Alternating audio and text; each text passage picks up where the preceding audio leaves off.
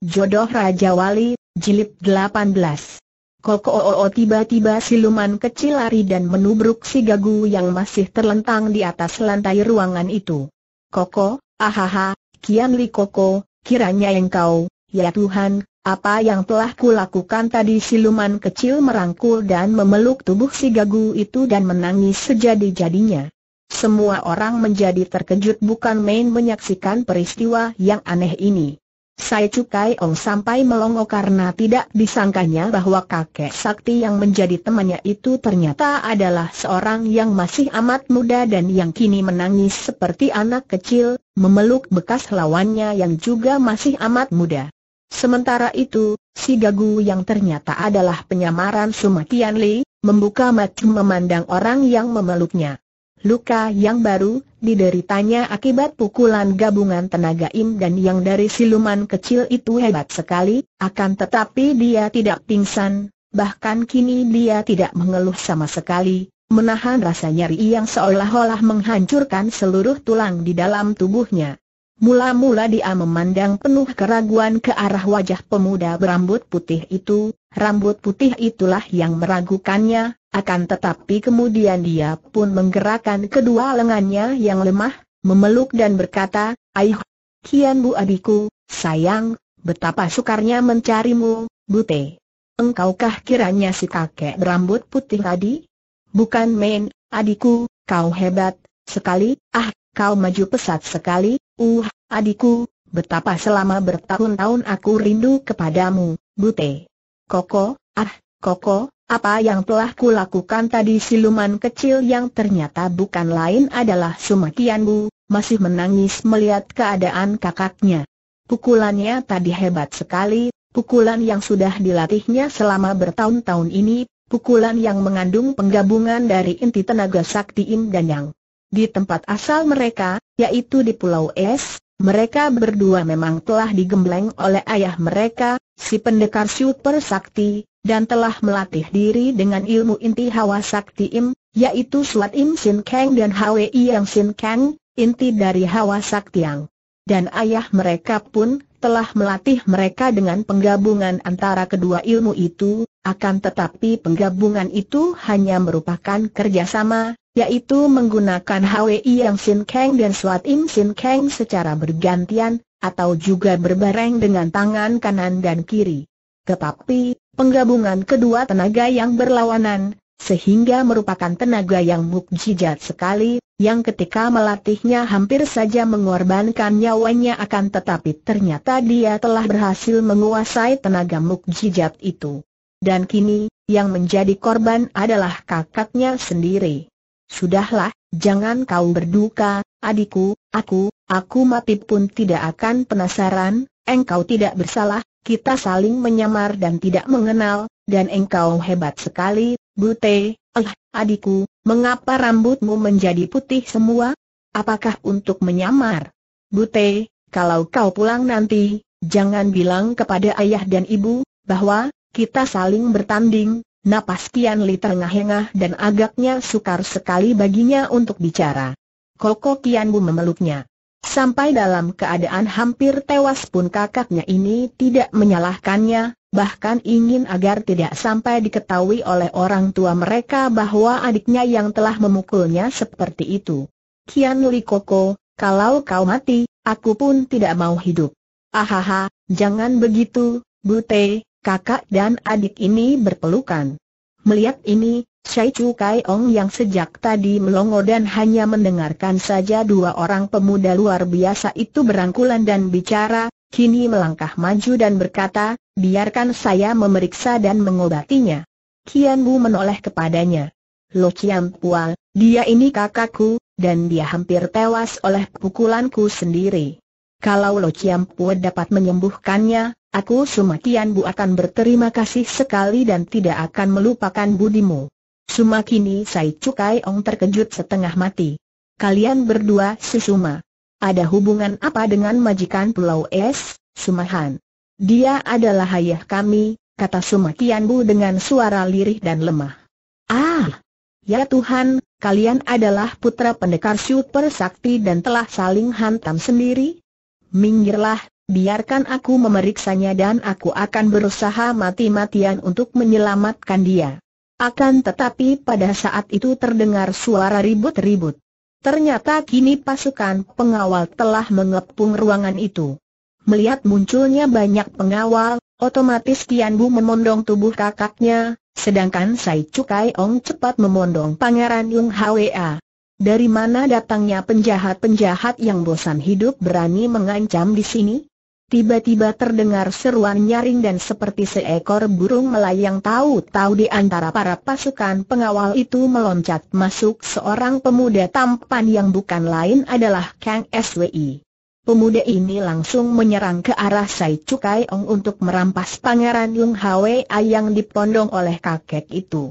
Akan tetapi, kakek gagah perkasa itu sudah melompat ke samping dan terdengar Gusin Kai membentak marah lalu kakek pengemis inilah yang menerjang dan menyambut Kang SWI. Mereka segera bertanding dengan hebat sedangkan para pengawal sudah menyerbu ke dalam ruangan itu sehingga kakek gagah perkasa dan Tian Bu yang masing-masing menggendong Pangeran Yung Hwa dan Tian Li, mengamuk dengan tamparan satu tangan dan tendangan-tendangan kaki mereka. Sepak terjang kakek itu hebat, dan Tian Bu yang marah dan berduka melihat keadaan kakaknya, juga marah bukan main sehingga tiap tendangan atau tamparan tangannya tentu langsung merobohkan seorang pengeroyok.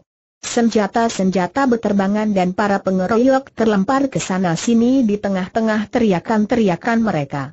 Akan tetapi, Gusin Kai terdesak hebat oleh Kang SWI yang amat liai, apalagi setelah Kang SWI mencabut pedangnya. Biarpun Gusin Kai melawan mati-matian dengan tongkatnya, namun tetap saja dia menjadi kewalahan karena pedang di tangan Kang SWI benar-benar amat liai, mengeluarkan suara bersuitan dan mengandung hawa yang panas dan tajam. Tiba-tiba Gusin Kai berteriak kaget ketika ujung pedang itu mencium pundaknya sehingga bajunya robek dan pundaknya berdarah.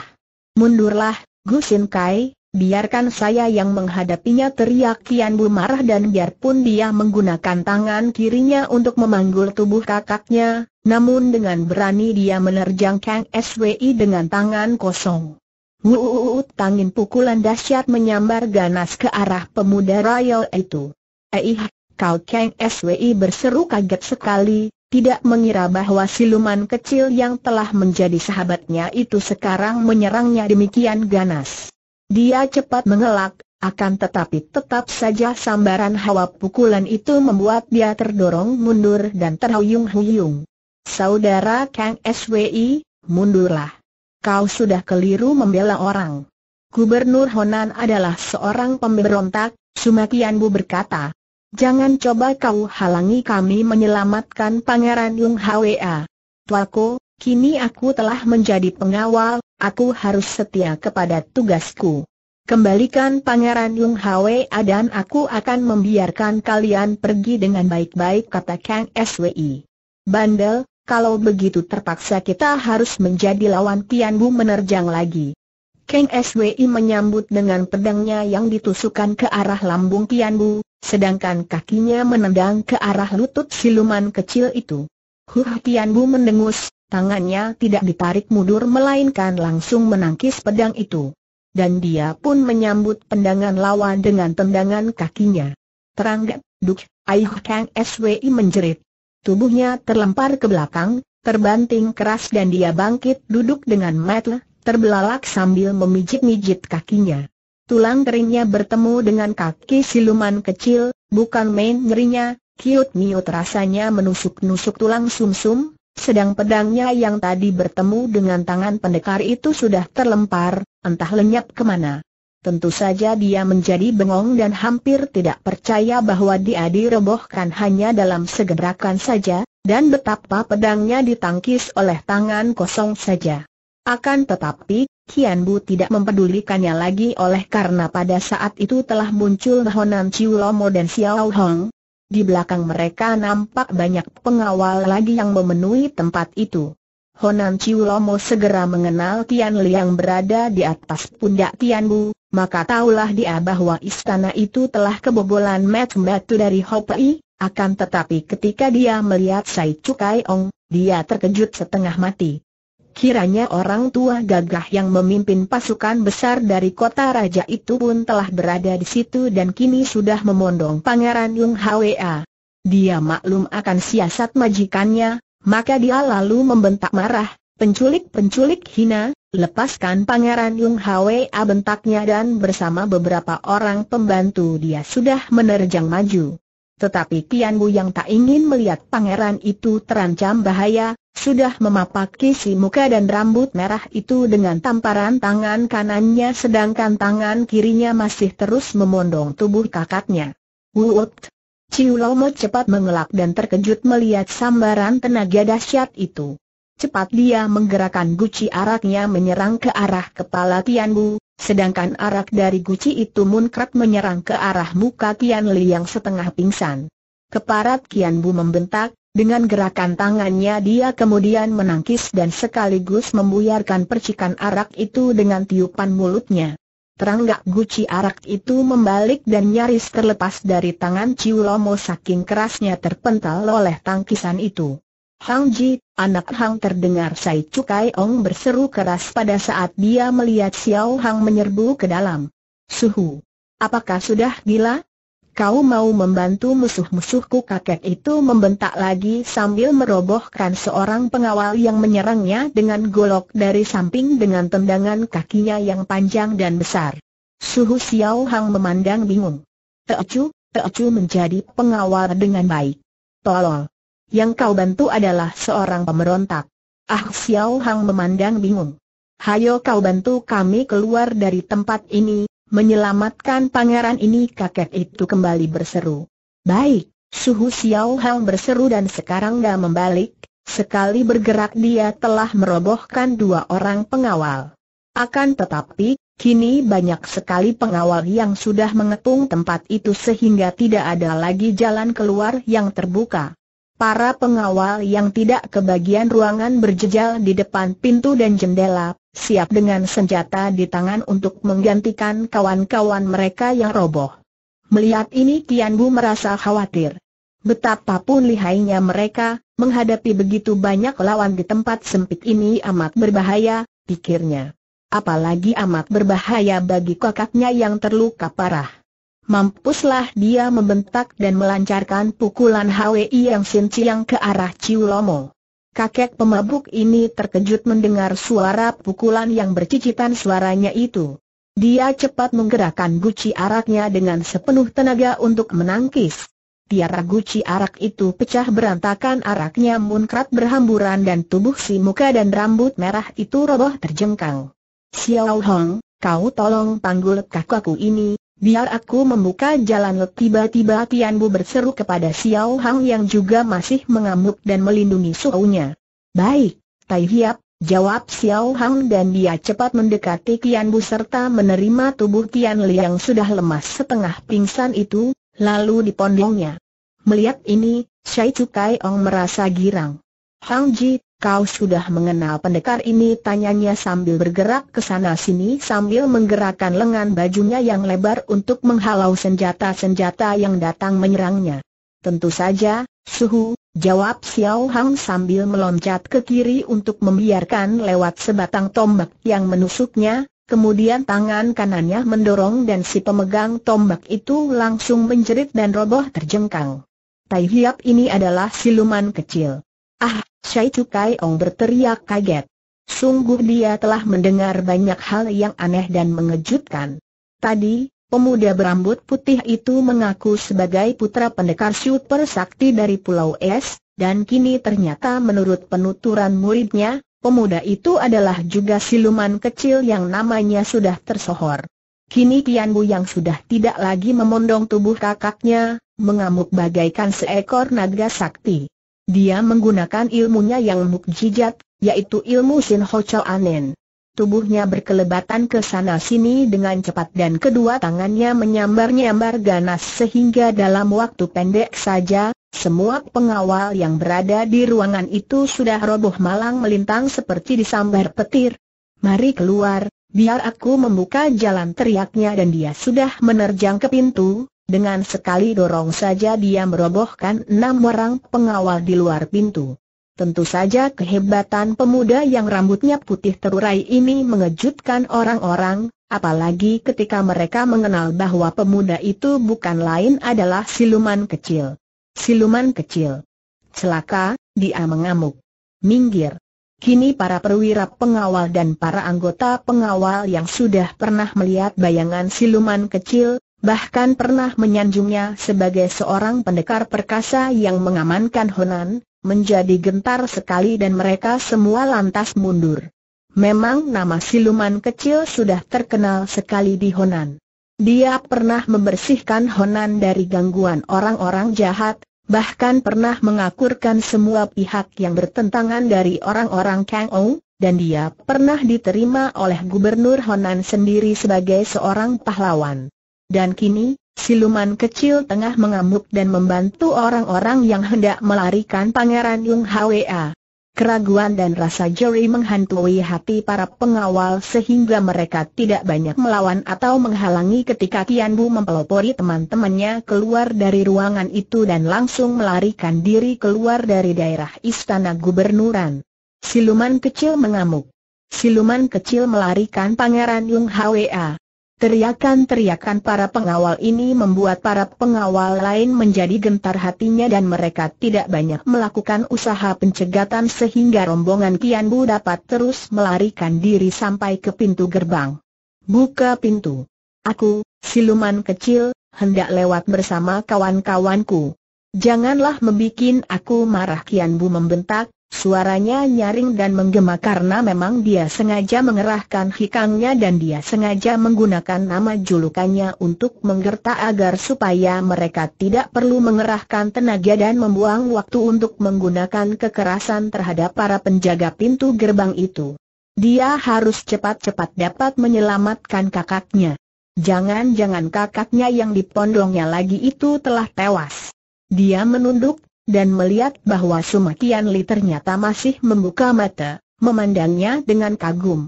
Kau hebat, adikku, kau hebat, bisik Kian Li. Ah jantung Kian Bu rasanya seperti ditusuk dan bagi pendengarannya, pujian kakaknya itu seperti ujung pedang menghujam dadanya karena kehebatannya itu sudah dipergunakan untuk memukul roboh kakaknya sendiri. Lekas buka. Kalau tidak, Ku bunuh kalian semua bentaknya geram untuk menutupi hatinya yang tersiksa rasanya. Baik, baik, Tai Hiap terdengar jawaban seorang penjaga dan bergegas dia membuka pintu benteng itu dibantu oleh kawan-kawannya. Keluarlah mereka dari tembok kota yang menjadi benteng pertahanan kota Lokyang. Akan tetapi, Malam telah mulai terganti pagi dan tiba-tiba nampak debu mengebul dan dari depan datanglah serombongan orang berkuda yang dipimpin oleh seorang raksasa berkepala botak bermantel merah. Ban Hwe Jin Koksu dari Nepal tiba bersama pengawal-pengawal pribadi Gubernur Kui dari Honan. Kiranya telah ada berita terdengar oleh Gubernur Kui yang masih berada di Chengzhou dan mendengar berita bahwa ada keributan di Lokyang, maka gubernur minta bantuan Koks Unepal yang amat sakti itu untuk memimpin serombongan pengawal cepat-cepat menuju ke Lok Yang dan kebetulan sekali mereka bertemu dengan rombongan yang melarikan Pangeran Yung Hwa itu di luar tembok benteng Lok Yang. Hahaha, kiranya kalian ini hanyalah penculik-penculik yang hina bentak Ban Hwa Jin sambil tertawa bergelak penuh ejekan. Seperti sekumpulan maling kesiangan saja. Setelah bertemu dengan kami, lebih baik kalian menyerah daripada mati konyol biarpun suaranya agak kaku namun ternyata Cox Unepal ini pandai sekali berbicara dalam bahasa daerah. Saya Cukai Ong menjadi marah sekali. Manusia sombong. Engkau menjadi kaki tangan pemberontak, padahal kulihat engkau bukanlah orang Han. Agaknya engkau malah yang membujuk gubernur Honan untuk memberontak. Sekarang bertemu dengan aku Sai Cukai Ong, berarti ajalmu sudah berada di depan mata. Siapakah engkau, orang asing? Hahaha. Aku adalah sahabat baik dari Gubernur Honan, dan namaku Ban Hwe Asang Jin. Kini aku bertugas menangkap kalian maling-maling kecil. Julukanmu Sai Cukai Ong? Hahaha, biarpun suaramu seperti seekor saicu, singa, akan tetapi engkau menghadapi aku seperti seekor singa ompong, jembel busuk. Dimaki singa ompong dan jembel busuk yang tentu saja diambil dari julukannya sebagai Kai Ong, Raja Pengemis, kakek gagah itu menjadi marah bukan main. Xiao Ji, kau jagalah beliau, katanya sambil menunjuk Pangeran Yung Hwa yang sekarang berdiri di belakangnya, Kemudian dengan langkah lebar dia menghampiri Ban Hwe Aseng Jin yang dengan sikap tenang telah turun dari atas punggung kudanya. Ban Hwe Aseng Jin pengecut hina. Kau mengandalkan pasukanmu yang jumlahnya 20 orang lebih ini untuk menggertak kami? Kau kira kami takut Sai Cukai Ong membentak. Haha, mereka ini hanya menjadi pengantarku. Dengan tenagaku sendiri aku mampu merobohkan kalian semua, satu demi satu atau berbareng. Kalau aku sampai tak dapat mengalahkan kalian, biarlah kalian lewat tanpa kami ganggu. Ucapan ini merupakan kesombongan yang hebat. Benarkah itu? Apakah manusia macam engkau akan dapat menahan diri untuk tidak bersikap curang dan dapat memegang janji? Alis yang tebal itu jadi berkerut. Saya cukai ong, tahan sedikit mulutmu kau tidak tahu dengan siapa kau berhadapan. Aku adalah seorang koksu dari kerajaan Nepal, kau bentak Ban Hwe Asang Jin. Ah, kiranya begitu Sai Cukai Ong berseru. Mengertilah kini dia mengapa orang Nepal ini berada di sini. Kiranya dalam usahanya untuk memisahkan diri dari Kaisar, Gubernur Honan telah mendekati dan mengadakan hubungan rahasia dengan kerajaan Nepal di barat. Nah, Majulah menyerahkan nyawamu Ban Hwe Jin melangkah maju dengan tangan kosong sambil tersenyum mengejek. Sambutlah Sai Cukai Ong membentak. Sai Cukai Ong sudah menerjang ke depan dengan gerakan tangkas dan karena dia dapat menduga akan kelihayan kakek botak ini, maka begitu dah menyerang langsung dia mengeluarkan ilmu simpanannya, yaitu ilmu keluarga turun-temurun dari nenek moyangnya. Ilmu ini dinamakan Kong Sim Sim Chiang, Ilmu pukulan tangan sakti hati kosong, sesuai dengan nama perkumpulan pengemis yang dahulu dipimpin oleh nenek moyangnya, yaitu perkumpulan Hong Sim Kai Pang. Ilmu pukulan ini amat liai, kelihatan kosong namun berisi dan memang inti ilmu pukulan ini berdasarkan kekosongan. Menurut dongeng yang diceritakan turun-temurun dalam keluarganya, Nenek moyangnya adalah orang-orang yang suka sekali mempelajari agama Chu dan dari pelajaran agama Chu inilah maka ilmu Hong Sim Sim Chang itu diciptakan. Menurut cerita neneknya dahulu, dalam keluarga Yeu terdapat ayat dari kitab Chu Tik Hing yang amat mereka junjung tinggi, yaitu pelajaran dari Nabi Locu tentang kekosongan yang menjadi inti dari segalanya, bahkan yang berisi tidak akan ada gunanya tanpa ada kekosongan itu seperti disebutkan dalam ayat ke-11 dari kitab Tutik Hing. 30 ruji berpusat pada satu polos roda, pada tempat yang kosong terletak kegunaannya. Dari tanah liat dibuatlah jembangan, pada tempat yang kosong terletak kegunaannya. Lubang pintu dan jendela dibuat untuk rumah, pada tempat yang kosong terletak kegunaannya. Selain ayat dari Tutik Hing itu, juga masih banyak wajangan keluarga turun-temurun yang mengingatkan mereka akan pentingnya kekosongan, antara lain dinyatakan bahwa di dalam setiap langkah kaki, jarak yang dilewati antara kedua kaki, yaitu yang tidak terinjak, yang kosong itulah yang berguna karena tanpa itu tidak akan ada kemajuan dalam langkah kaki juga keindahan dan kenikmatan sebuah lagu tidak akan terasa lagi tanpa adanya jarak-jarak yang kosong antara satu dan lain nada. Serangan yang dilancarkan oleh Sai Cukai Ong hebat bukan main. Kelihatannya sih ringan dan kosong saja, akan tetapi begitu anginnya menyambar, seorang sakti seperti Koksu dari Nepal itu sendiri sampai mengeluarkan seruan kaget dan cepat-cepat dia mengelak. Jubahnya yang lebar dan merah itu sampai berkibar terkena hembusan hawa pukulan yang sifatnya kosong namun berisi penuh dengan kekuatan dahsyat itu. Dia cepat membalas dengan pukulan yang tak kalah dahsyatnya hingga Sai Cukai Ong juga terkejut dan cepat melompat ke samping karena dia tidak berani menyambut pukulan yang amat hebat itu. Terjadilah pertandingan hebat dan keadaan sekeliling tempat itu disambar oleh hawa-hawa pukulan kuat sekali sehingga 20 orang lebih pengawal yang mengiringkan Ban Hwe Asenjin terpaksa mundur oleh karena kuda mereka meringkik ketakutan dan gelisah sekali. Bahkan Pangeran Yung Hwa juga segera bersembunyi di balik tubuh Xiao Hang karena merasa ngeri. Akan tetapi, seorang yang sudah menjadi koksu sebuah negara, bahkan kini menjadi utusan raja, tentu saja adalah orang yang memiliki kepandaian yang boleh diandalkan.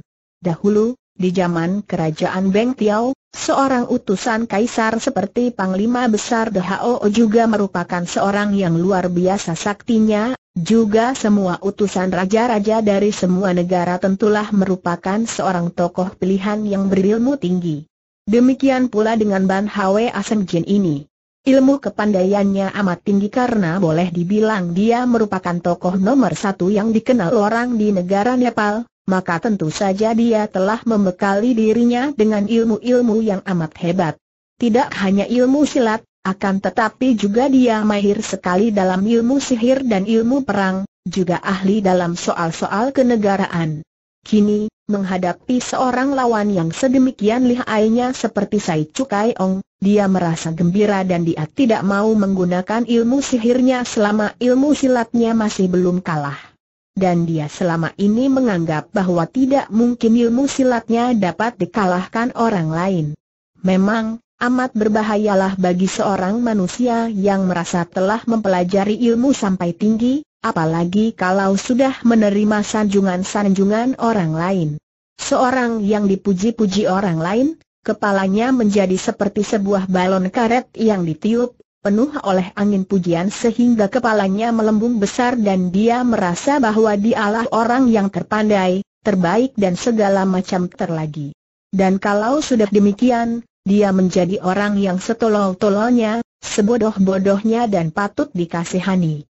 Maka, Seorang bijaksana akan selalu waspada akan semua kekurangan dan kebodohan diri sendiri sampai saat kematian tiba, karena hanya dengan kewaspadaan ini saja maka dia dapat melihat betapa bahayanya semua pujian yang diterimanya dalam keadaan bagaimanapun juga.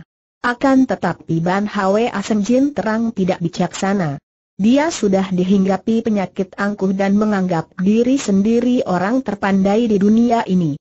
Dan memang ilmu kepandaiannya hebat dan bahkan Sai Cukai Ong yang merupakan ahli waris dari ilmu keturunan yang amat mukjizat itu ternyata kalah kuat dibandingkan dengan Ban Hwe Asenjin sehingga setelah lewat seratus jurus, Raja pengemis itu terdesak hebat dan dalam satu pertemuan tenaga ketika kedua tangan mereka bertemu, Sai Cukai Ong terlempar ke belakang dan terbanting jatuh.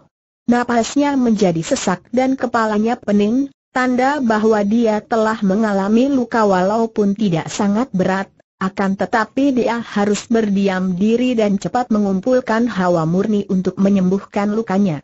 Siluman kecil atau Suma Kian Bu menyerahkan Kian Li kepada Xiao Hong. Dia akan maju sendiri. Hati-hati, Bute. Dia memang lihai sekali, aku sendiri pernah melawan dia dan hampir aku celaka, bisik Kian Li kepada adiknya ketika dia diserahkan kepada Xiao Hang untuk dipondong karena dia tidak kuat untuk berdiri sendiri. Kian Bu mengangguk dengan sikap tenang.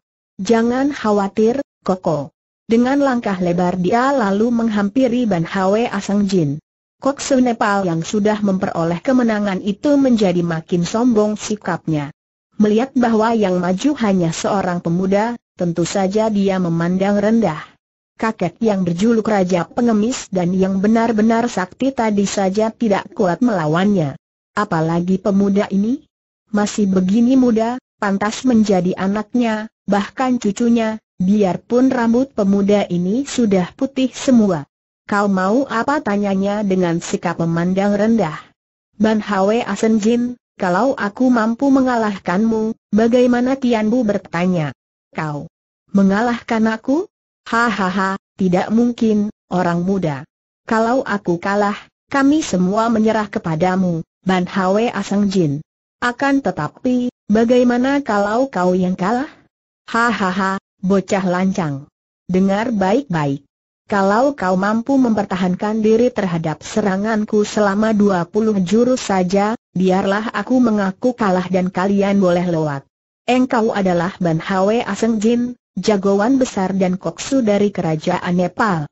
Akan tetapi apakah omongan seorang koksu dari Nepal dapat dipercaya sepenuhnya? Apakah nanti engkau tidak akan menarik kembali omonganmu, menjilat kembali ludah yang telah dikeluarkan, dan benar-benar kalau aku mampu mempertahankan diri terhadap seranganmu selama 20 jurus, engkau mengaku kalah dan kami semua boleh lewatannya siluman kecil yang sengaja menekankan hal pelanggaran janji itu agar menyinggung kehormatan Koksu yang kelihatan lihai sekali ini. Dan anak panah yang dilepaskan berupa kata-kata ini tepat mengenai sasarannya.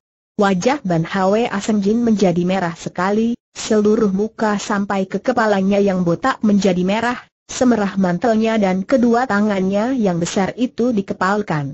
Dia menjadi marah dan tersinggung. Bocah bermulut lancang. Kau kira, aku orang macam apa? Orang-orang seperti aku, janji lebih berharga daripada nyawa, mengerti? Akan tetapi, sebaliknya kalau dalam 20 jurus kau tidak mampu mempertahankan diri, kalau kau tidak sampai kupukul mampus, engkau dan semua temanmu selain harus menyerah dan tunduk, juga harus mentaati semua perintahku. Siluman kecil diam-diam merasa girang dan kini dia yakin bahwa tentu si botak tinggi besar ini tidak akan ada muka lagi untuk melanggar janjinya sendiri. Baik, kalau sampai aku roboh sebelum 20 jurus, engkau memang pantas menjadi kakek buyutku yang harus kutaati. Nah, Sambutlah ini jurus pertama Ban Hwe Asenjin berseru. Tubuhnya yang tinggi besar itu sudah bergerak cepat ke depan, sedemikian cepat gerakannya sehingga mantelnya yang merah itu sampai berkibar di belakangnya seperti layar perahu tertiup angin. Kedua tangannya sudah melancarkan serangan dahsyat sekali, tangan kiri membentuk cakar Garuda mencengkeram ke arah batok kepala siluman kecil atau Tianbu, sedangkan tangan kanannya dengan jari tangan terbuka menghantam ke arah dada. Cakaran tangan kiri itu kelihatannya amat menyeramkan dan agaknya kalau mengenai kepala, akan remuklah kepala itu, dan dilakukan dengan amat cepat sedangkan tangan kanan yang menghantam ke arah dada itu sebaliknya gerakannya lambat dan perlahan. Namun, Kian Bu yang sejak kecil menerima gemblengan ilmu-ilmu yang amat tinggi sudah tahu bahwa cakaran itu hanya merupakan kembangan saja atau gertakan, sedangkan serangan yang sesungguhnya dan merupakan inti pukulan adalah yang dilakukan oleh tangan kiri itu, karena tangan kiri kakek raksasa itu melakukan pukulan yang mengandung tenaga mukjizat yang dapat disebut Hun Kincohkut, memutuskan otot dan melepaskan tulang. Kalau pukulan itu mengenai dadanya dengan tepat, tentu akan copot semua tulang iganya. Karena maklum akan hebatnya serangan jurus pertama ini, Kian Bu cepat melindungi dirinya dengan ilmu silat Sin Chow Kun Hoat, ilmu silat ular sakti. Kedua lengannya bergerak cepat dan meliuk-liuk seperti gerakan ular dan tubuhnya juga dapat meliuk cepat sekali hingga tidak sukarlah baginya untuk mengelak dan menangkis dua lengan lawan itu dari samping dengan meminjam tenaga pukulan lawan. Ilmu silat Sin Chow Kun Hoat ini adalah merupakan satu di antara banyak ilmu-ilmu silat yang tinggi dari ibunya, yaitu Putri Nirahai, yang telah diwariskan kepada Kian Bu. Tentu saja, gerakan ilmu silat yang bagaimana tinggi pun tidak akan banyak manfaatnya tanpa dilandasi tenaga sinkang yang kuat, maka gerakan Sin Choat Kun Hoat ini oleh Tian Bu didorong dengan tenaga Hwe yang Sin Kang yang panas. Plak-plak. Kedua lengan kakek raksasa botak itu kena ditangkis sehingga menyeleweng karena tangkisan dari samping itu mendorong tenaga serangannya dan dia merasa kedua lengannya panas sekali. Eh Ban Hwe Jin terkejut. Kalau pemuda itu hanya dapat mengelak atau menangkis serangannya yang pertama itu, tidaklah amat mengejutkan bagi dirinya, karena seorang pemuda yang sudah berani menghadapinya tentulah mempunyai juga sedikit kepandaian. Akan tetapi, Tangkisan pemuda itulah yang membuat dia tanpa disadarinya mengeluarkan seruan kaget karena dia merasakan adanya tenaga mukjizat yang panas sekali menyerang dirinya melalui pertemuan kedua lengan itu. Sebagai seorang yang sudah berpengalaman banyak, Ban Hwe Jin segera dapat mengenal sifat gerakan lawan. Dia mengenal ilmu silat yang mendasarkan gerakannya dan sifatnya dengan sifat dan gerakan ular. Semua ilmu silat yang mendasarkan gerakan dan sifatnya dengan ular adalah gerakan yang memupuk tenaga KHI, hawa, yang dilatih dengan aturan pernapasan. Karena tenaga KHI inilah maka seekor ular kelihatan lunak dan lembut tanpa tenaga kalau tubuhnya menyentuh sesuatu, akan tetapi dia dapat menarik kekuatan hebat luar biasa setiap saat. Seperti baja yang terbaik, dapat menjadi benda yang paling keras, akan tetapi juga dapat dibuat menjadi kawat yang paling lembut dan lemas.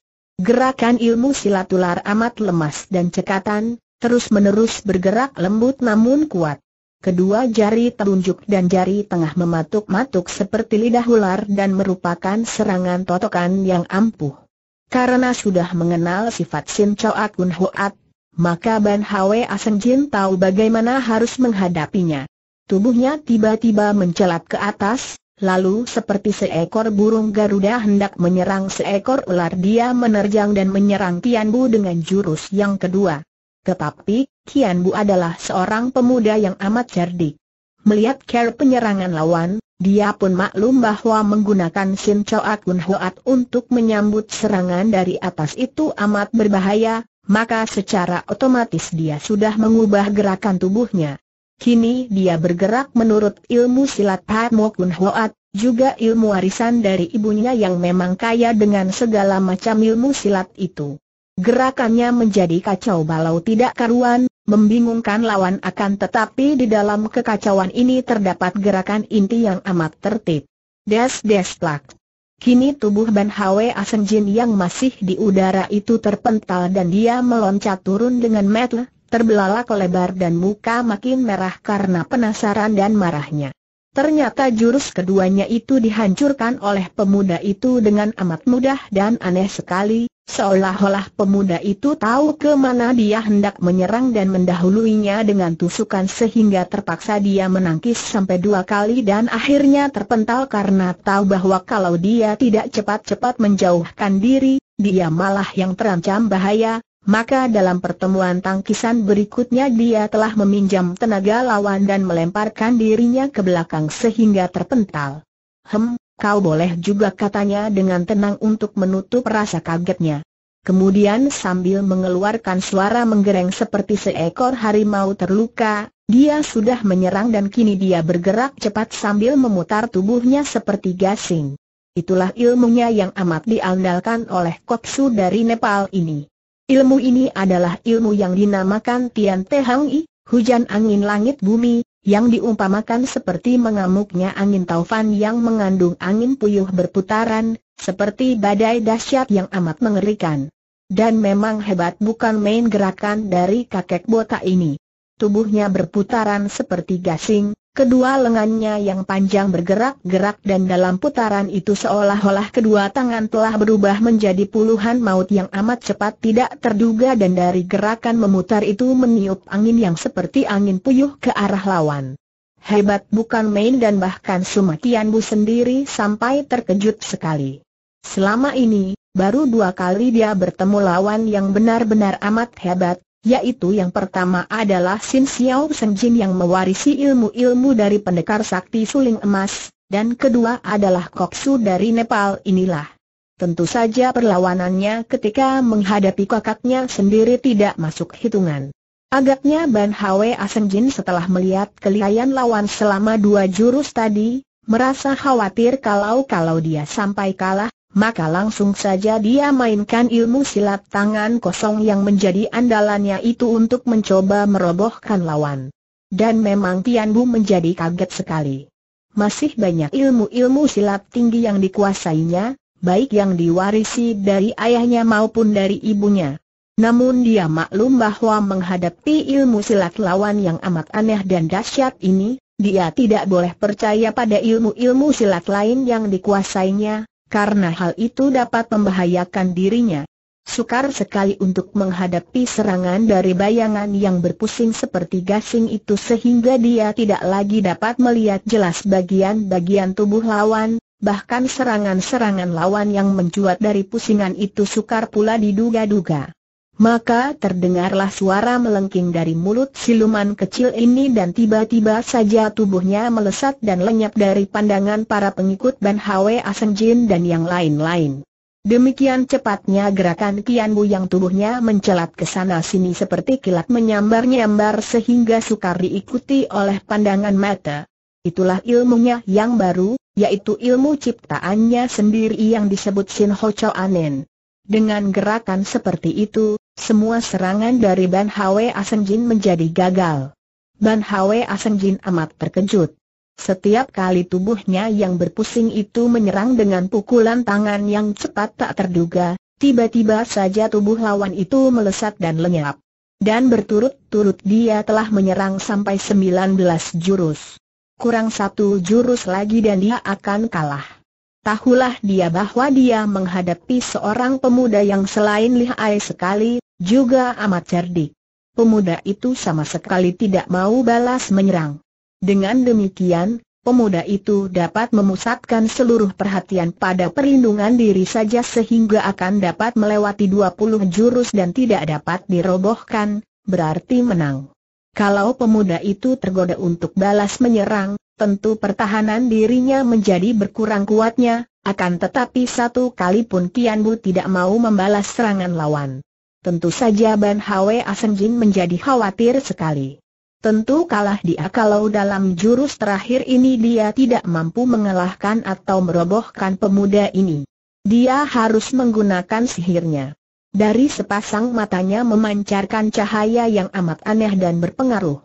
Dia menarik napas panjang, mengumpulkan kekuatan mukjizat lalu terdengar suara yang dalam dan berpengaruh sekali, mengandung kumandang aneh, berseru, lihat nagaku menerkamu. Kian Bu terkejut bukan main dan terbelalak memandang ke atas ketika tiba-tiba saja dia melihat seekor naga hitam yang menyemburkan api menyerangnya dari atas udara.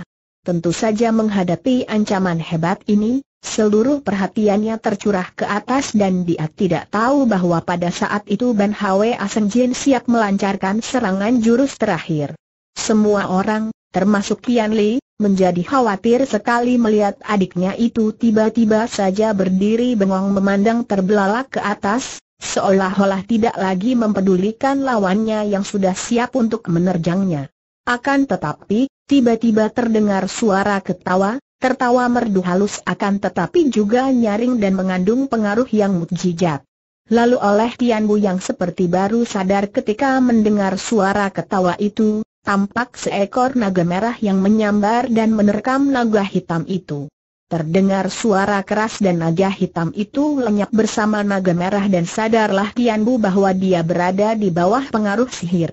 Marahlah siluman kecil dan dia mengerahkan seluruh tenaga yang ada padanya, menggabungkan tenaga Suat Im Sin Kang dan Hwi Yang Sin Kang, lalu dia menyambut kakek itu yang sudah menyerangnya dengan ganas, serangan dari jurus terakhir. Des! Ban Hwe Jin terpental dan terbanting roboh ke atas tanah dalam keadaan pingsan. Untung dia memiliki tenaga mukjizat karena kalau tidak, tentu dia sudah mengalami luka-luka seperti tersiram air panas seperti yang diderita oleh Tian Li.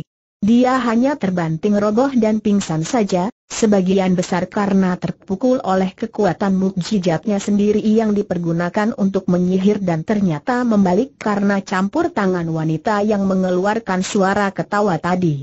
Kian Bu cepat menengok ke kanan dan dia melihat seorang gadis yang luar biasa cantiknya, yang berdiri lemas seperti batang pohon yang liu, dan mulutnya tersenyum mengejek memandang kepadanya, seorang yang cantik manis, pakaiannya serba indah dan di bawah ketiak kirinya mengempit sebuah payung hitam.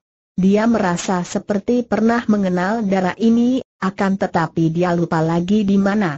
Karena dia menduga bahwa tentu gadis ini yang telah menolongnya tadi dari bahaya maut akibat pengaruh sihir, maka dia lalu menjura ke arah gadis itu sambil berkata, terima kasih. Akan tetapi pada saat itu, Syai Cukai Ong sudah cepat berkata, mari kita cepat pergi dari sini dan dia sudah mendahului Kian Bu dengan menggendong Pangeran Yung Hwa. Kian Bu sadar bahwa memang mereka harus cepat pergi selagi Ban Hwe Aseng Jin yang lihai itu tidak berdaya, maka dia pun segera berkata kepada Xiao Hong, cepat kau ikuti suhumu, biar aku yang menjaga dari belakang. Xiao Hang mengangguk dan sambil memondong tubuh Tian Li, Pemuda remaja ini pun cepat berlari pergi mengejar suhunya, sedangkan Tian Bu berlari paling belakang untuk menjaga dua orang yang memondong Pangeran Yung Hwa dan kakaknya itu. Akan tetapi setelah melihat Ban Hwa Jin roboh, dan mengenal pula siluman kecil, para pengawal gubernur Honan itu sama sekali tidak berani bergerak dan membiarkan mereka pergi. Gadis cantik jelita yang tadi tersenyum-senyum, Sekali berkelebat juga lenyap dari situ. Gadis ini tentu saja bukan lain adalah Xiang En. Seperti kita ketahui, gadis ini masih terus mencari Shanti Dewi yang lenyap dari puncak naga api di pegunungan Luliang San, dari sarang HWAI Kong Chu Teng Hun secara aneh, dan kebetulan saja dia menyaksikan pertandingan hebat antara siluman kecil dan koksu dari Nepal itu. Andai kata Koksu itu tidak mempergunakan ilmu sihir, tentu Siang In tidak akan mencampuri pertandingan hebat itu, bahkan dia sendiri menonton dari kejauhan dengan kagum sekali karena maklum, bahwa yang sedang bertanding itu adalah dua orang yang memiliki tingkat kepandaian yang jauh lebih tinggi daripada tingkatnya sendiri. Akan tetapi begitu melihat kakek raksasa botak itu mempergunakan ilmu hitam, Tentu saja hatinya tertarik dan dia menjadi penasaran maka tanpa diminta dia lalu turun tangan membuyarkan pengaruh sihir itu. Bukan sengaja untuk mendukung orang muda yang rambutnya putih dan aneh itu, melainkan hanya karena dia selalu tertarik oleh pertunjukan ilmu sihir karena dia sendiri adalah seorang ahli sihir. Dia pangling terhadap Tian Bu karena pemuda itu kini rambutnya sudah menjadi putih semua dan dia pun hanya melihat wajah pemuda itu dari jarak yang cukup jauh. Padahal, telah lama dia mencari pemuda ini. Akhirnya tibalah mereka di perkemahan pasukan yang dipimpin oleh Sai Cukai Ong dari kota raja itu. Legalah hati Sai Cukai Ong karena kini dia yakin bahwa dia telah berhasil menyelamatkan Pangeran Yung Hwa dari bahaya maut. Maka begitu mereka tiba di ruangan dalam dari kemah induk yang ditinggali oleh Sai Cukai Ong, kakek yang gagah perkasa ini lalu menjatuhkan diri berlutut di depan Pangeran Yung Hwa untuk memberi hormat. Dengan hati terharu pangeran yang rendah hati dan selalu ramah ini memeluk dan mengangkat bangun kakek itu sambil berkata, Lo Chiam Pual, jangan menggunakan terlalu banyak sikap sungkan terhadap saya. Pada saat ini saya hanyalah seorang yang telah berhutang budi dan nyawa kepada kalian semua. Sebaiknya Lo Chiam cepat-cepat menolong Sumakian yang terluka parah itu. Sai Cukai Ong mengangguk dan merasa girang karena kini dia memperoleh kenyataan akan kebenaran berita di luaran tentang sikap Pangeran Yung Hwa yang bijaksana dan baik terhadap siapa saja. Di samping merasa bahwa sudah menjadi kewajibannya untuk membantu kerajaan, juga dia merasa girang telah membantu seorang pangeran yang begitu menyenangkan sikapnya. Cepat dia lalu menghampiri Tian Li yang sudah direbahkan di atas pembaringan dan cepat dia melakukan pemeriksaan dengan teliti. Setelah melakukan pemeriksaan agak lama, Shai Cukai Ong lalu berkata kepada Tian Bu yang mengikuti pemeriksaan itu penuh perhatian. Tai Hiap, sungguh baru satu kali ini aku melihat kehebatan-kehebatan yang amat luar biasa. Akibat pukulan darimu amat mengerikan, akan tetapi daya tahan kakakmu ini juga amat luar biasa. Kalau bukan dia yang mengalami pukulan seperti ini, agaknya dia akan kehilangan seluruh sumber tenaga murninya dan akan menjadi seorang penderita cacat selama hidupnya. Ah, Lo Chiam Po Tian Bu cepat menjatuhkan diri berlutut di depan kakek itu. Harap Lo Chiam Po Sudi mengusahakan agar kakakku dapat sembuh dia berkata dengan muka pucat dan hati menyesal bukan main. Sai Cukai Ong tersenyum dan membangunkan pemuda itu. Jangan khawatir, Tai Hiap. Kakakmu ini memiliki dasar kekuatan yang tidak lumrah manusia berkat sinkang yang selama hidup belum pernah kusaksikan sedemikian kuatnya sehingga dia hanya mengalami luka yang tidak membahayakan nyawanya. Tetapi, luka itu kalau kuobati dengan obat-obat biasa, akan memakan waktu berbulan-bulan. Hanya ada semacam obat yang ku tahu akan dapat menyembuhkannya secara cepat sekali, akan tetapi aku sangsi apakah kita akan dapat memperoleh obat itu. Di mana tempatnya? Lo Cian Pual, aku sendiri akan mencari obat itu Kian Bu berseru. Kakek itu mengerutkan alisnya, Obat itu adalah semacam jamur yang amat mukjizat dan tidak ada keduanya di dunia ini. Jamur panca warna yang hanya nampak warnanya kalau berada di tempat gelap, karena di dalam tempat gelap itu jamur ini mengeluarkan sinar mencorong dan kelihatanlah warnanya seperti warna pelangi. Kalau terkena sinar terang, jamur itu menutupkan kelopaknya seperti jamur mati dan hanya di waktu gelap saja dia mekar, mengeluarkan sinar dan warnanya. Kian Bu mengangguk-angguk. Sudah saya catat dalam hati tentang keadaan jamur itu, Lo Chiam Pual, lalu di mana tempatnya? Itulah sukarnya. Aku sendiri belum pernah ke sana, dan hanya mendengar penuturan seorang pendeta yang pernah tersesat ke sana. Tempat itu agaknya tidak mungkin didatangi orang. Pernah aku sendiri mencapai tebing itu, akan tetapi tidak melihat jalan turun saking terjal dan licinnya. Akan tetapi, melihat kesaktian Tai Hiap, siapa tahu kalau-kalau Tai Hiap dapat menuruninya. Pendeta yang kini telah meninggal itu pun hanya karena tersesat saja, karena kecelakaan dan terguling ke dalam jurang lalu mencoba mencari jalan keluar, maka dapat tiba di tempat itu dan dia pun sudah tidak tahu lagi bagaimana dia dapat sampai ke tempat itu. Dialah yang membawa jamur aneh itu dan memberikan kepadaku, sayang bahwa jamur itu sudah habis ku pakai mengobati orang. Tempatnya di tepi sungai Wangho. Mari ku buatkan gambaran petanya.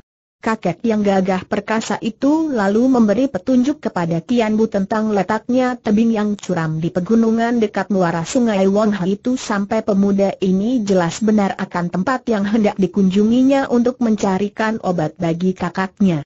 Setelah merasa yakin bahwa dia akan dapat mencari tempat itu, Kian Bu lalu berpamit kepada kakaknya. Liko, harap tenangkan hatimu. Aku akan mencarikan obat jamur panca warna itu untukmu, dan percayalah, aku pasti akan bisa mendapatkan jamur itu. Harap kau baik-baik menjaga diri dan biarlah Sai Cukai Ong Lo Chiampo yang akan merawatmu. Kian Li memegang tangan adiknya. Jangan terlalu lama, Bute. Kita belum puas bicara, bahkan aku belum tahu bagaimana riwayatmu sehingga selama lima tahun ini engkau menghilang dan tahu-tahu rambutmu telah menjadi putih semua dan ilmu kepandaianmu meningkat sedemikian hebatnya, kata Kian Li dengan pandang mata penuh kasih sayang kepada adiknya. Nanti saja kalau aku sudah kembali kita bicara sebanyaknya, Koko. Yang terpenting sekarang adalah obat untukmu. Sumatai Hiap, kalau nanti engkau kembali dan melihat kami sudah tidak berada di sini, berarti pasukan kami telah ditarik mundur kembali ke kota raja dan aku akan membawa kakakmu ke tempat tinggalku di puncak Bukit Nelayan untuk beristirahat dan diobati. Kami mempunyai pondok di sana, di puncak Bukit Nelayan di pinggir sungai, sebelah selatan kota Paoteng. Hati-hatilah mencari obat yang amat sukar didatangi tempatnya itu, Tai Hiap, kata Pangeran Yung Hwa yang hadir pula di situ. Apakah perlu kiranya kau dikawal oleh pasukan? Mereka dapat membantumu. Terima kasih, saya kira tidak perlu, jawab Kian Bu. Maka segera berangkatlah pemuda perkasa ini meninggalkan perkemahan pasukan itu, menggunakan kepandaiannya berlari cepat sekali menuju ke tempat yang telah digambarkan oleh Sai Cukai Ong kepadanya. Apa pun yang akan dihadapinya, Apa pun yang akan menimpanya, dia harus mendapatkan obat untuk kakaknya itu, demikian dia mengambil keputusan di dalam hatinya. Para pembaca yang pernah mengikuti pengalaman-pengalaman pendekar sakti Gak Bun Beng di waktu dia masih kecil, yaitu dalam cerita sepasang pedang iblis, mungkin masih ingat ketika pendekar sakti itu di waktu masih kecil terlempar ke dalam air sungai Wang Ho yang amat deras, kemudian dia diseret oleh pusaran air, disedot ke bawah dan dihanyutkan melalui terowongan aneh sampai dia mendarat di lambung gunung. Terowongan yang menembus dalam tubuh gunung itu merupakan terowongan maut dan hanya secara kebetulan saja dia dapat selamat dan tiba di tempat yang luar biasa anehnya, tempat yang penuh dengan binatang setengah keras setengah anjing, baboon, di mana dia menemukan sepasang pedang iblis dan kitab-kitab Sempo Keng yang mukjizat. Di tempat luar biasa itulah adanya jamur panca warna yang dimaksudkan oleh Sai Cukai Ong. Dan memang benar seperti yang dituturkan oleh Sai Cukai Ong, tempat itu tidak pernah atau tidak mungkin didatangi manusia. Pendeta Buddha yang kebetulan dapat tersesat ke situ adalah seorang Hwasyo pencari daun-daun obat yang hanya kebetulan saja dapat tiba di situ. Hwasyo ini ketika sedang mencari obat di tebing dan menginjak sebuah batu telah tergelincir dan dia terjatuh ke dalam jurang yang amat terjal itu. Akan tetapi secara aneh, tubuhnya yang pingsan itu diterima oleh sebatang pohon yang tumbuh di tebing. Tubuh itu ditangkap oleh cabang, ranting dan daun-daun pohon dan pohon kecil itu jebol, terbawa melayang turun dan akhirnya setelah mencelat ke sana sini, tubuh itu terjatuh ke air. Itulah air anak sungai yang terbentuk dari air hujan dan yang mengalir masuk ke air terowongan yang dulu menghanyutkan pendekar sakti Gak Bunbeng. Dan karena kebetulan yang luar biasa ini Hosio itu dapat berada di situ. Setelah siuman dia lalu mencari jalan keluar, menemukan jamur panca warna yang belum diketahui khasiatnya dan hanya diambil karena sifatnya yang luar biasa. Setelah dia berusaha mati-matian sampai berbulan dan sampai lupa jalan, Akhirnya dapat juga dia keluar dari tebing maut itu, melalui perjalanan yang amat jauh dan yang tidak dapat diingatnya kembali karena perjalanan itu menyusup-nyusup, naik turun jurang kecil dan memakan waktu sampai sebulan lebih baru dia dapat keluar dari sana. Akan tetapi Kian Bu yang berjuluk siluman kecil bukanlah seorang manusia biasa, melainkan seorang pemuda yang telah memiliki kepandaian amat hebat. Maka setelah dia tiba di tempat yang dimaksudkan, dia menjenguk ke tepi tebing dan mengerutkan alisnya. Memang tidak mungkin bagi seorang manusia untuk menuruni tebing itu, tepat seperti yang dikatakan oleh Sai Cukai Ong. Agaknya keturunan pengemis sakti pendiri Hong Sim Kai Pang itu telah pula berdiri di tepi tebing ini, pikir Kian Bu. Dia sendiri kalau dalam keadaan biasa, tentu lebih baik cepat-cepat menjauhkan diri dari tebing itu, apalagi harus mencari jalan turun. Akan tetapi dalam keadaan seperti saat itu, untuk mencarikan obat bagi kakaknya, jangankan hanya tebing yang curam, biar lautan api pun tentu akan ditempuhnya. Dengan menggunakan ketajaman pandang matanya, Kian Bu dapat mengerti mengapa tidak mungkin ada orang dapat menuruni tebing itu.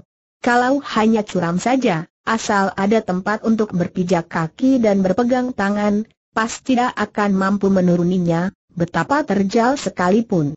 Atau biarpun amat terjal, kalau dia sudah tahu bagaimana keadaan dasar tebing itu, tentu dia pun akan berani mempergunakan ilmunya Sin Hoco Anen untuk berloncatan ke bawah dengan menggunakan dinding tebing sebagai penahan luncuran dan tempat menjejakkan kakinya. Akan tetapi tanpa mengetahui keadaan dasar tebing, padahal tenaga luncuran berat tubuhnya tentu akan luar biasa kuatnya dari tempat setinggi itu, berarti mempertaruhkan nyawa secara konyol. Dia dapat pula menggunakan ilmu Pek Houye Ujong, cecak bermain-main di tembok, dengan sinkang yang mengeluarkan daya sedot pada kaki tangannya yang telanjang untuk merayap menuruni tebing. Akan tetapi tentu saja ilmu itu hanya dapat digunakan untuk pendakian yang tidak begitu tinggi atau penurunan yang tidak securam tebing ini. Dia tentu sudah akan kehabisan tenaga sebelum mencapai seperempat jarak tebing itu dan kehabisan tenaga berarti akan melayang jatuh dan mati dalam keadaan tubuh hancur lebur. Menggunakan tali. Mana mungkin mencari tali yang panjangnya seperti itu? Pula, Merayap turun ke tebing menggunakan tali berarti menggantungkan nyawa pada tali itu, padahal tali itu terikat di atas tebing. Sekali bacok saja tali di atas tebing itu oleh musuh, nyawanya akan melayang. Kian Bu duduk termenung di tepi tebing dengan alis berkerut. Betapapun juga, dia tidak akan menyerah begitu saja. Dia harus mencari akal dan kembali dia menjenguk ke bawah. Memang terjal bukan main sampai dia tidak dapat melihat jelas keadaan di bawah sana. Jangankan seorang manusia, bahkan seekor monyet sekalipun kiranya tidak akan mungkin menuruni tebing ini, pikirnya. Kadang-kadang ada kabut melayang di bawah sehingga menutupi keadaan bawah tebing sama sekali. Tiba-tiba dia melihat seekor burung terbang melayang. Seekor burung walet hitam dan dia memandang dengan penuh iri. Kalau aku bersayap seperti burung itu, alangkah akan mudahnya menuruni tebing ini, pikirnya. Jangankan baru tebing ini, biar naik ke langit pun tiada sukarnya bagi seekor burung yang bersayap. Kembali dia menjenguk ke bawah, bahkan tubuh atasnya condong ke tepi tebing. Dia tidak melihat bahwa ada bayangan hitam berkelebat di belakangnya. Kalau saja perhatiannya tidak tercurah sepenuhnya ke bawah tebing dan untuk mencari jalan turun ke bawah, tentu pendengarannya yang sudah terlatih dan menjadi tajam luar biasa berkat singkangnya itu akan dapat menangkap gerakan si bayangan hitam ini, betapapun cekatan dan ringan gerakan si bayangan hitam ini. Hei, jangan coba bunuh diri. Tiba-tiba terdengar seruan halus dan nyaring itu yang membuat Tian Bu terkejut bukan main dalam keadaan melamun dan menjenguk ke dalam tebing seperti itu lalu tiba-tiba mendengar bentakan yang demikian nyaring, benar-benar amat membahayakan. Orang yang lemah jantungnya tentu akan terperanjat dan dapat saja langsung terjungkal ke dalam jurang. Dia cepat membalikan tubuhnya dan matanya terbelalak memandang, kemudian dia mengerutkan alisnya dengan hati mekal. Kiranya di situ telah berdiri gadis cantik jelita berpakaian serba hitam yang membawa-bawa ular, yang dahulu pernah menyerangnya kalang kabut hanya karena berbeda pendapat tentang diri Cuilan dan oleh karena menyangka bahwa dia mengejar-ngejar gadis ini. Setelah dia membalik, gadis itu pun terkejut, kemudian tersenyum mengejek. Begitu tersenyum, seketika tercipta dua buah lesung pipit di kanan kiri bibirnya. Manis bukan kepalang. Lalu bibir itu mereka membentuk senyum sehingga deretan gigi kecil yang putih bersih berkilau sesaat di antara belahan bibir yang merah basah. Cantik sekali. Ya ampun. Kiranya engkau ini? Aha, kalau begitu lanjutkan usahamu itu, siluman kecil. Lanjutkan selagi aku menjadi saksi di sini. Aih, betapa akan senangnya menjadi orang satu-satunya yang menyaksikan betapa siluman kecil yang tersohor itu ternyata hanyalah seorang laki-laki yang berhati kecil pula seperti julukannya, seorang pengecut yang mudah patah hati, seorang laki-laki cengeng yang mudah mendapat dorongan hasrat untuk membunuh diri. Hai hai hik, teruskanlah bunuh diri di depanku, aku akan senang sekali. Kian Bu bangkit berdiri dan memandang dengan melongot, Lalu dia maju beberapa langkah, memandang wajah cantik jelita dan manis itu penuh selidik. Melihat sinar mata yang mencorong dari pemuda berambut putih itu, diam-diam gadis itu bergidik. Gadis itu tentu saja adalah Wei Eli, putri ketua Pulau Neraka. Ih, kenapa kau memandang aku seperti itu bentaknya dengan suara dibikin galak untuk menutupi rasa ngerinya. Dia sebenarnya merasa ngeri terhadap pemuda berambut putih ini yang dia tahu memiliki kepandaian amat tinggi sehingga dia sama sekali tidak akan mampu menang melawannya. Kalau dia bersikap angkuh dan berani, hal itu hanya dilakukan agar dia jangan dipandang rendah saja. Memang, biarpun dia sudah dewasa, Wei Li masih belum dapat menghilangkan sifat kekanak-kanakannya. Sumakian Bu dahulunya adalah seorang pemuda yang berwatak penuh keriangan, gembira dan jenaka, juga bengal dan pandai bicara, pandai berdebat dan suka menggoda orang. Setelah dia mengalami pukulan batin karena cinta kasihnya terhadap Putri Shanti Dewi menemui kegagalan dan kekecewaan, kemudian ditambah lagi oleh latihan ilmu penggabungan tenaga im, dingin, dan yang, panas, dari Pulau Es sehingga membuat rambutnya mengalami perubahan warna, dia menjadi seorang pendiam yang penuh rahasia. Penuh misteri.